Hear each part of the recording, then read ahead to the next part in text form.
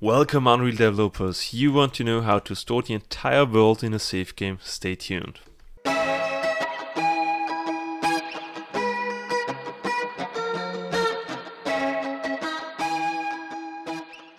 Actually this is a pretty big topic and it will take multiple videos to do so. But after that you will be able to store every single cube inside your world you can store where the player is, if he's moving, which direction he's looking, and also you can track every single movement of a cube. If he's moving, that will be stored, and also the projectiles themselves. So, with that being said, these cubes inside of our world are just static meshes tracked in. We can't save them. We need them to be actors. So go to your content browser press the right mouse key and go to blueprint class. We are going to create a new actor. So select actor and type test cube. This will be our test cube and we have to replace all of them.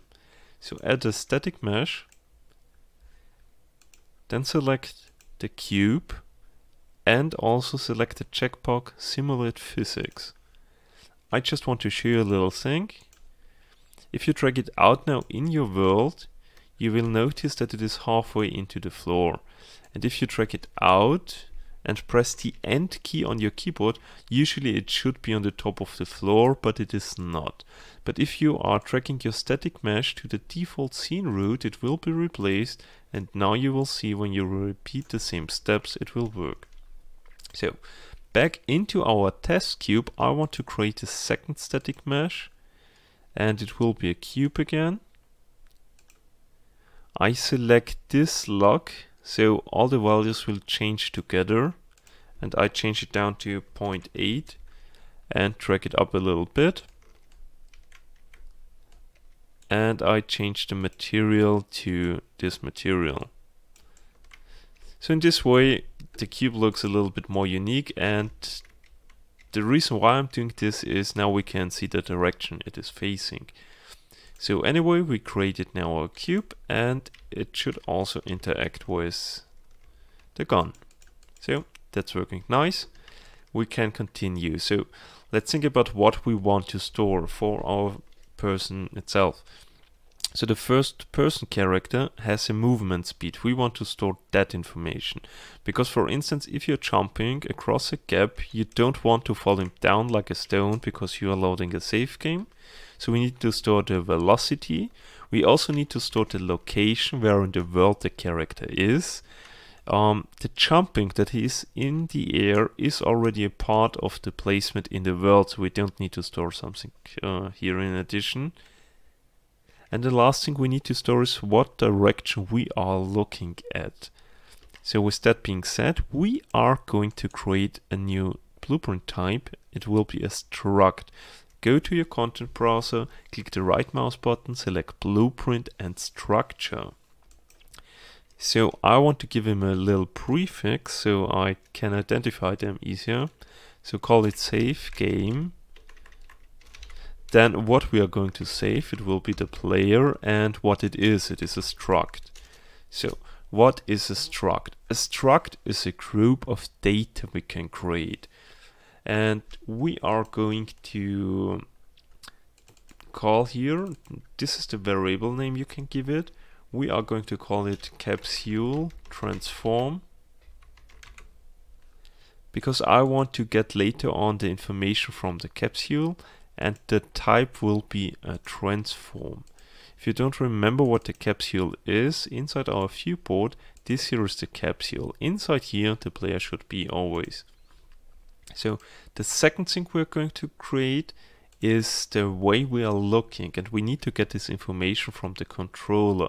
We need to get the controller rotation. So I type controller location.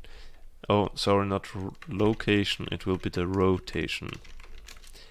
And it will be a rotator. And the last thing we need for our character is the velocity. We will get that information from the character movement. So I type character movement velocity and the velocity is always stored as a vector so just select vector and this here is the character movement. It will be pretty similar with the projectile. So we created everything we need here. Now we need to think about the other actors in our scene. Talking about the cube.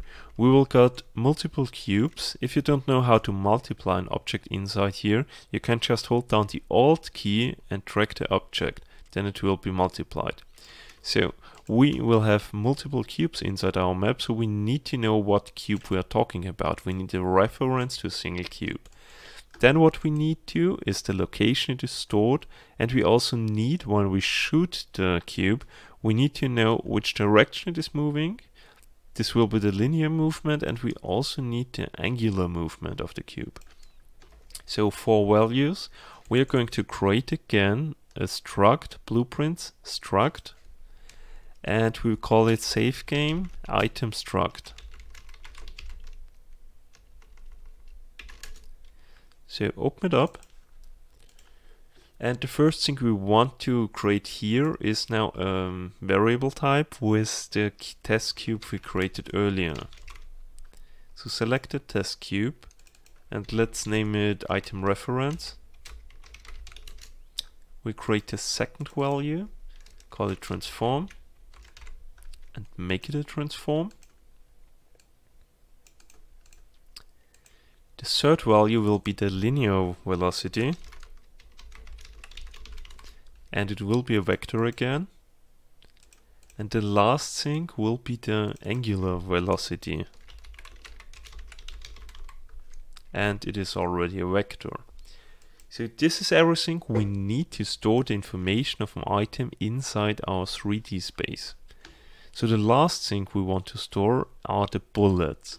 When we are thinking about the projectiles, we got here two values. We got the direction it is moving or better said, uh, that's the velocity. And then we got the location where it is right now, and we also got different items we need to reference. So let's create another structure.